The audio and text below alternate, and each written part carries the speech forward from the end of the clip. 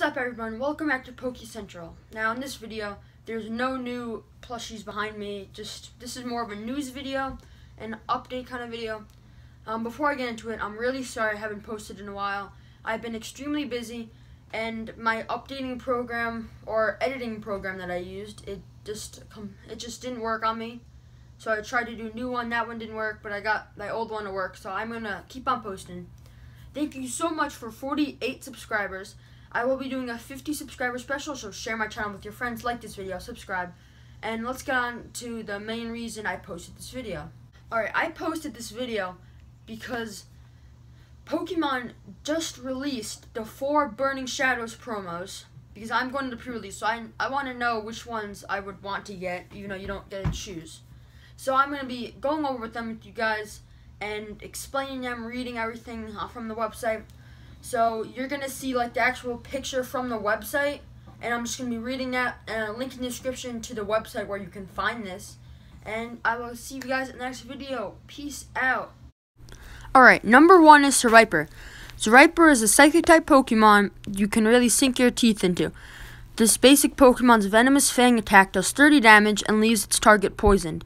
The more attack the attack becomes even more toxic due to Seviper's more poison ability, which adds extra damage which adds an extra damage counter to all your opponent's poisoned Pokemon between turns.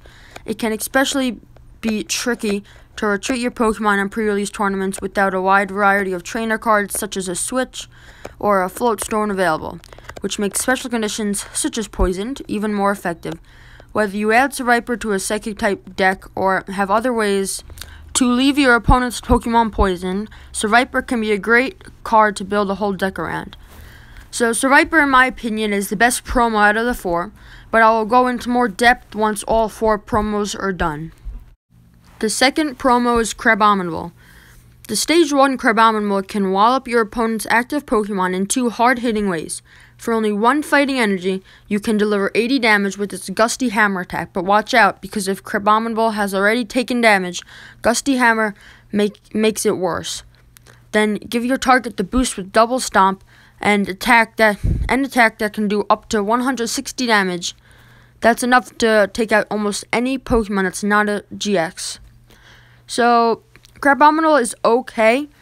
It does take one fighting type energy to do 80 damage, but if you have damage counters, you do less. And then Double Stomp takes three fighting type energies, and it does 80 damage, and then for each heads, and you flip two coins. So that's that's okay, but I would rather, so far, I would rather have Seviper over Crabominable.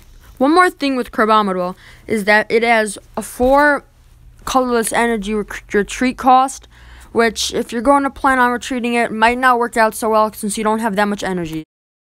The third promo is Zygarde. Pokemon like Zygarde are always great in pre-release decks. It's a basic Pokemon with plenty of HP, and its Land Crush attack uses only colorless energies, so it's easy to slip into any deck. If you can build a deck that that can provide the energy requirements of Zygarde's Core Enforcer attack, you'll be able to hit for a massive 150 damage, enough to take out any other Zygarde in one hit.